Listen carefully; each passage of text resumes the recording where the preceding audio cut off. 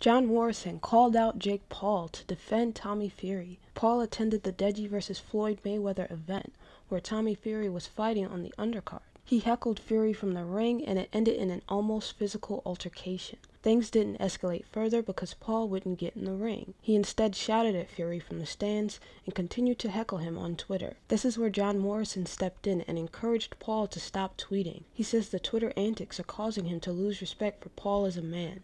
Responses flooded in, with one user saying that Morrison's respect is the least of Paul's worries. He clapped back with a, Who are you? Swift and to the point. Another user attempted to correct Morrison, who appeared to confuse Jake Paul with Logan Paul. He clarified that both Paul brothers are wrestling fans. However, when a responder took jabs at Morrison's notoriety, his girlfriend Taya Valkyrie entered the fold. She had some pretty harsh words for the user, who thanked her for confirming he'd gotten under her skin. He also made sure to call her irrelevant as well. Valkyrie's response was, yeah, you can see it.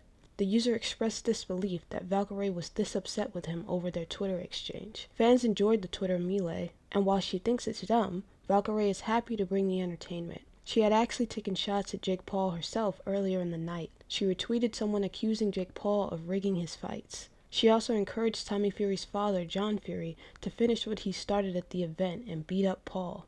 Needless to say, Morrison and his girl aren't that high on the younger Paul brother.